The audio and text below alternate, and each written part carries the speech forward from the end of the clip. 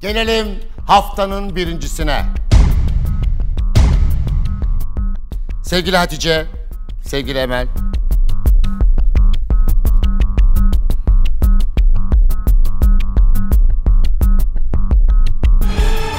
...60 puanla Hatice.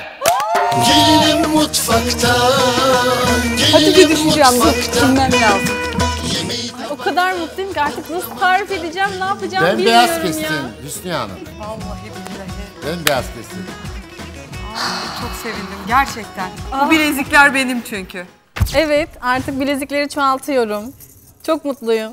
Hatice haksız yere ikinci kez bileziklerini taktı. Annemin sayesinde. Onlar nasıl söylüyor bana Keriman'ın sayesinde aldın o bilezikleri. Tamamen annemin sayesinde aldı. Bu hafta da böyle alacağını düşünüyor muydun? Düşünüyordum çünkü ben Arzu için dedim ki o 5 taneyi almaya gelmiş, ben hepsini alacağım dedim. İddiamda ilerliyorum. İnşallah bir kaza bela olmazsa böyle devam edeceğim. Çok şükür alacağız. Duydunuz. Tabii strateji yani bozmazsan e, devam ederseniz alırsınız. Sen üzülme zaten. Sen az Yok, önce ben içeride üzülmüyorum. dedin ki Yok ben üzülmüyorum. hediye Siz devam edin. dedin. Senin hediyen değil bizlerin hak etmesi bu. Tabii tabii. Sen öyle san. Ee, Hatice ikinci kez e, birinci oldu ve bilezikleri aldı. Bu kadar oyuna, bu kadar stratejiye e, alınırdı. O da aldı. Bu arada Emel 58 puanla 2 puanla birinciliği kaybetti. Evet. Çok üzüldüm ama e, bu haftayı da geçirdik böylelikle. Önümüzdeki haftalara bakacağız inşallah. Önümüzdeki hafta ben alacağım o bilezikleri. Şimdi bu bilezikleri ben Hüsnü Hanım'a veririm ve gelinine takacak.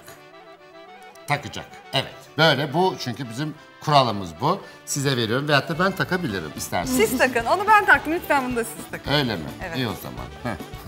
Kayınvalidem alacağı bilezikleri Fatih Bey takmak onun istemiyor. bileziğini ona niye de kavga çıkmasın şimdi. Biz o Yok, kendi hayır. aralarında Yok, hayır, halledecekler. siz Biz takın. geline bilezikleri takmak durumundayız. Kendi aralarında onu sonra da Bu hallederler. bizim için büyük bir şeref. Artık diyeceğiz Fatih Bey gelinime bilezikleri, beş bileziği taktı. Evet. Bilezikler takıldı. Oo ne güzel.